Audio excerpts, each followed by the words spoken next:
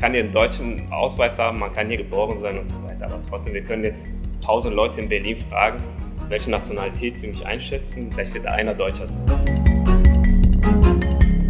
People say, well, I like diversity. Yes, I like diversity unless it's not about Muslims, Roma, Jews, people with no work. If a country is not prepared to deport massively the people who are not citizens, then they must figure out a way to integrate those immigrants in one way or another. You don't become a part of the country in the German class. I'm really sorry. That's just not happening.